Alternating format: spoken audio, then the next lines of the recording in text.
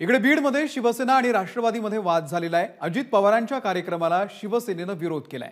बीडमधील उद्घाटन कार्यक्रमावरून शिवसेना आणि राष्ट्रवादी काँग्रेस ही आमने सामने आल्याचं दिसून येत आहे. बीडमध्ये कार्यक्रम सुरू होण्याच्या आधीच शिवसैनिक काळे झेंडे घेऊन रस्त्यावरती उतरले. शिवसैनिकांनी या ठिकाणी घोषणाबाजी सुद्धा केलेली आहे. आणि या संदर्भात अधिक माहिती देण्यासाठी आपले प्रतिनिधी गोविंद शेळके सध्या आपल्यासोबत आहेत.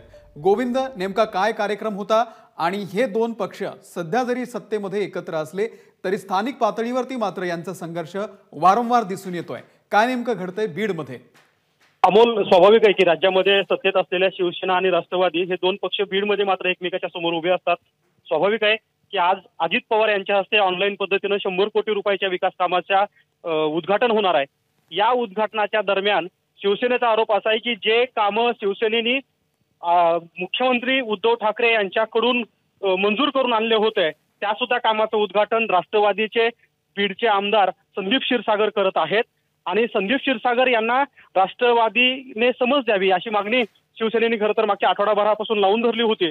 आणि आज कार्यक्रम सुरू होण्यापूर्वी ज्यावेळी पोलिसांनी सचिन मुळूक जे उपजिल्हा जिल्हा प्रमुख होते शिवसेनेचे त्यांना आता ताब्यात घेतलंय. पण ताब्यात घेतेवेळीच शिवसैनिकांनी रस्त्यावर येऊन घोषणाबाजी केली आहे आणि काळे झेंडे दाखवलेत अमोल. गोविंद धन्यवाद दिलेल्या या संपूर्ण माहितीबद्दल.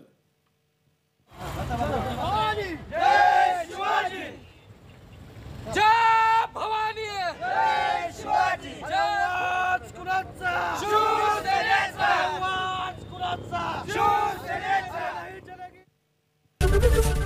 एबीपी माझा. उघडा डोळे बघा नीट.